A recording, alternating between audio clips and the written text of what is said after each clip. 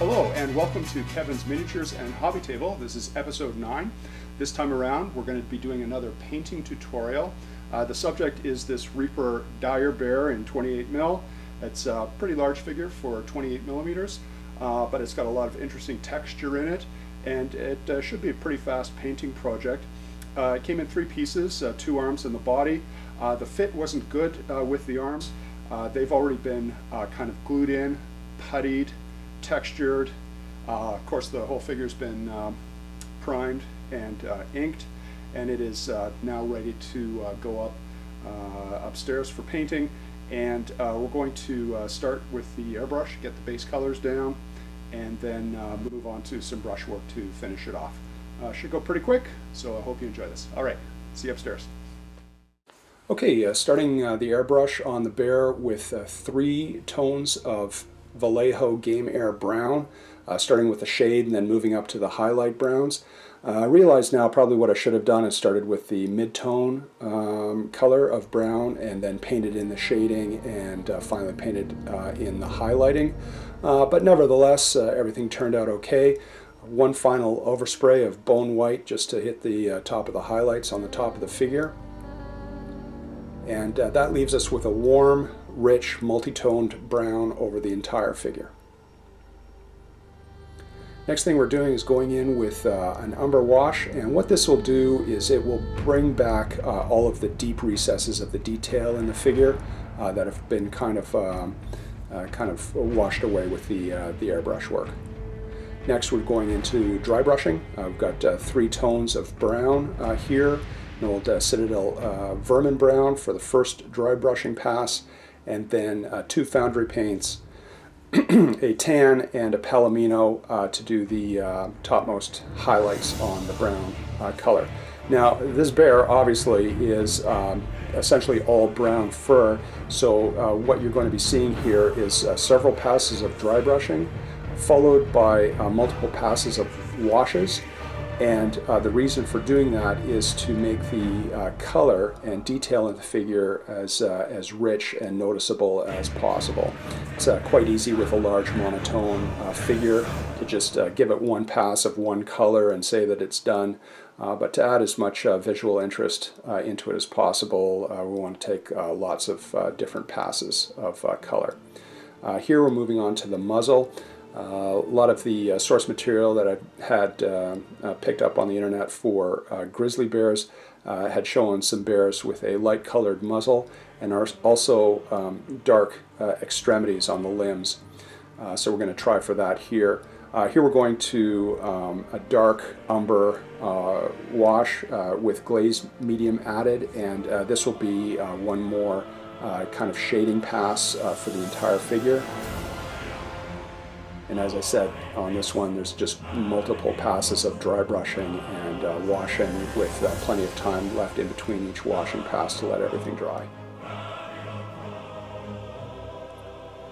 Here we're doing another uh, light uh, dry brushing pass.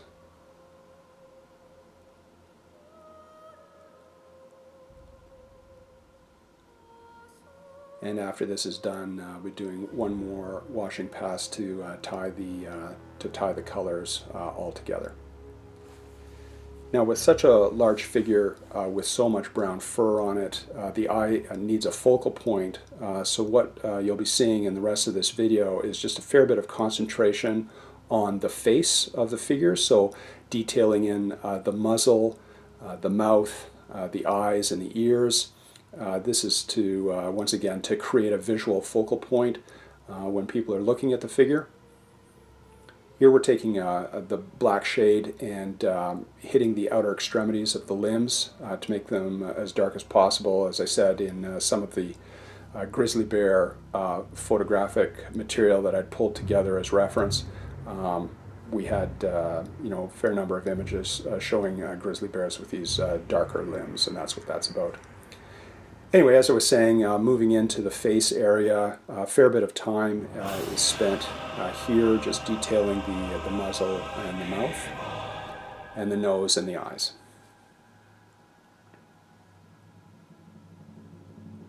Fortunately, there was a good bit of uh, sculpted detail here, so it was uh, pretty easy to paint. Here's a highlight pass of that uh, Palomino color.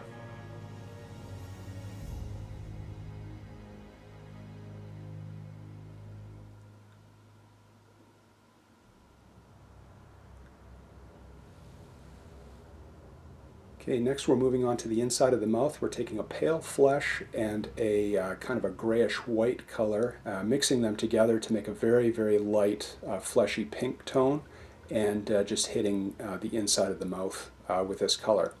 this is then going to be darkened up with a series of washes, starting with a sepia shade, then moving to a flesh tone wash, and finally you'll see a couple of passes with, with just a red wash to put in uh, kind of that, uh, uh, that, that red detail inside the mouth.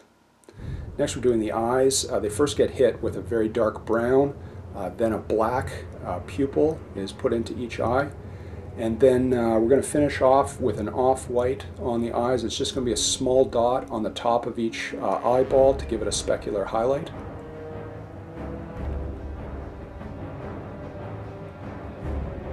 And then moving on to the nose. Uh, the nose is uh, obviously painted black and it'll be uh, highlighted with a, uh, with a dark gray.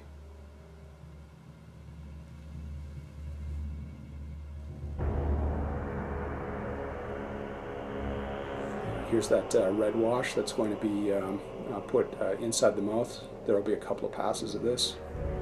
Next we're moving on to the claws and teeth with Reaper Ivory Triad ivory shade color is uh, first going to be uh, applied uh, to every claw and then to the teeth.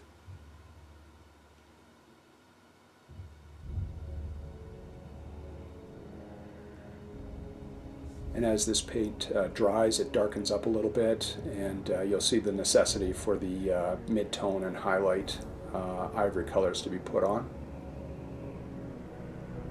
And after those claws are done, obviously we're moving uh, inside the mouth and getting the teeth there.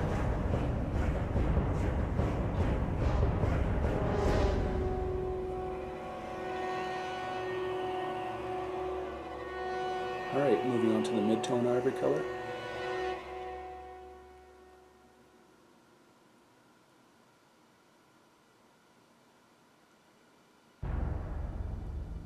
Obviously, as the midtones and highlights are being put on, uh, we leave some of the shade color to still be seen and, and uh, kind of create that color progression. And here the tips of the teeth are getting their midtone.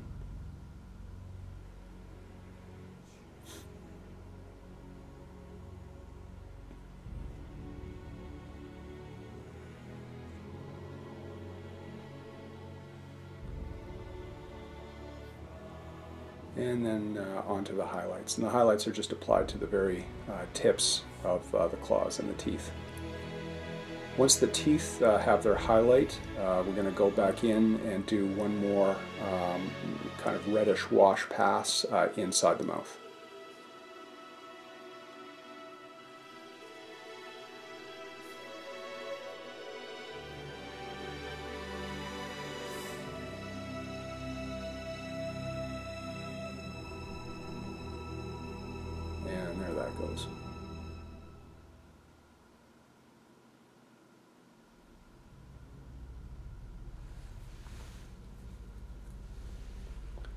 So I had uh, painted the base before starting the figure, but obviously as you're uh, airbrushing, you get a lot of overspray onto the base. So I'm just uh, picking the detail back out again with dry brushes of uh, orange brown and off-white. And uh, once uh, those layers are on, then I'll be moving on to the rock work. Once again using an old Citadel color called Deneb Stone on the rockwork. And uh, once that's all on and dried, then I'm going to be hitting the uh, rockwork with a secret weapon wash called Stone. And you can see it being put down here. I don't want to put it on too thick, just dabbing it in. And once that's dry, I'm just going in and uh, dry brushing over the rockwork one final time.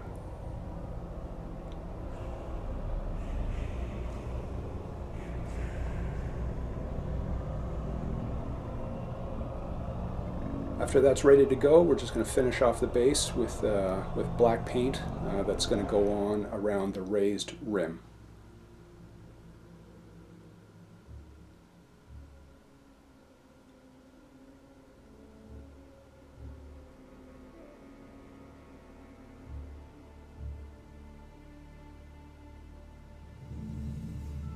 This is uh, quite quick. This uh, just goes around the edge of the base and uh, it's I'm putting it on pretty thin uh, so uh, I'll take two passes at it just to build up the, uh, the dark black color.